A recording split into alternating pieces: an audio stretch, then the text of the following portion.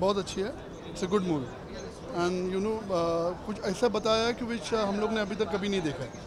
तो something like वो अलग साइड जो है जो वो लोग स्ट्रगल करते हैं वो इसमें डिस्प्ले किया गया है। तो it's a good movie very nice काफ़ी अच्छी लगी? अच्छा काफ़ी अच्छा लगा। मतलब I give the highest rating to this movie मतलब काफ़ी अच्छी तरीके से तीन घंटे ढाई घंटे एंगेज रखा है मूवी अगर सॉन्ग्स तो काफ़ी मैंने सुने नहीं है इसमें। मतलब काफ़ी पॉपुलर हाँ वो तो पहले भी है। लेकिन वो एक छोड़ के बाकी कोई सॉन्ग्स इतने पॉपुलर नहीं है तो आई थिंक सॉन्ग्स का लेकिन द मूवी इट्सल्फ उसका जो सब्सटेंस है वो काफ़ी जोरदार है। मतलब काफ़ी अच्छी तरीके से उसको प्रेजेंट किया गया आउट ऑफ़ 5 कितने स्टार दोगे हाँ out of 5 I give the highest rating I told you movie was wonderful. Everybody should go and watch this movie. I would rate 5 out of 5 and Independence Day के लिए तो specially ये movie है.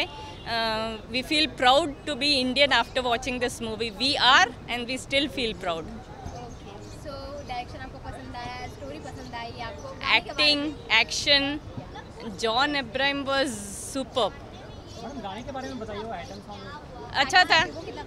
अच्छा था। Saki Saki was good nice song out of 5 कितने star दोगे five out of five बहुत अच्छा लगा। Everybody should go and watch on the screen और स्टोरी जो ऑथेंटिक लगी क्या कुछ ऐसा लगा कि नहीं नहीं। अच्छी लगी ऑथेंटिक ही थी। Specially the last portion was very nice जो वो प्रूव करता है कोर्ट में जॉन बहुत अच्छा था।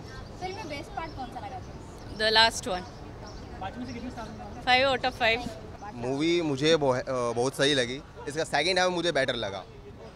स्टोरी पसंद आई स्टोरी बहुत सही।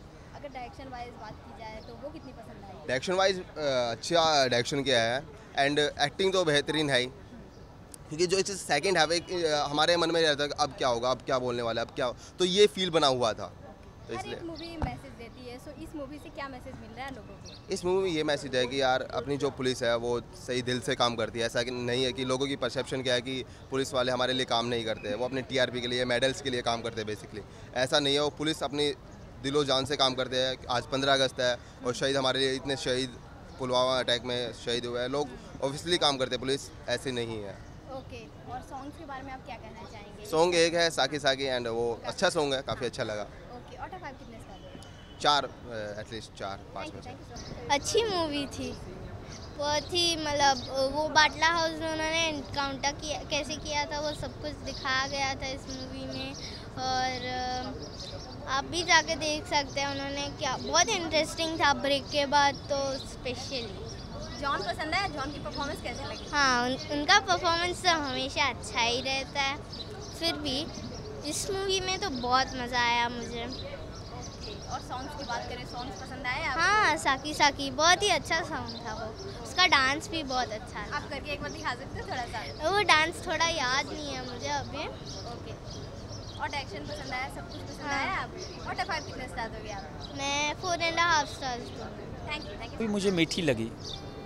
मीठी बोले तो अच्छी स्टोरी कितनी पसंद आई आपको स्टोरी अच्छी है एक रियल बेस्ड स्टोरी है और पब्लिक को ग्रिप करके चली है ये नहीं कि कहीं बोर कर रही है अच्छा लगा और एंड तक अच्छा वो दिखाया इन्वेस्टिंग जो सारा चीज़ था बेस्ट था।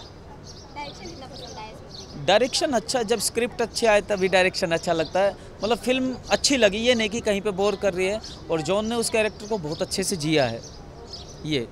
पसंद हाँ परफॉर्मेंस अच्छा था सभी का। बहुत अच्छा काम किया है। जॉन ने, लड़के मृणाल, उसने अच्छा काम किया है।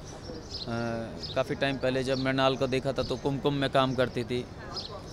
हाँ लेकिन उसके बाद सुपर थर्टी भी की, उसके बाद एड में भी तो मतलब धीरे धीरे उसमें काफ़ी निखार आ रहा है। और मुझे अच्छा लगता है कि, क्योंकि सीरियल से और पिक्चर में इस तरह की अच्छी पिक्चरों में काम करना बहुत टफ है।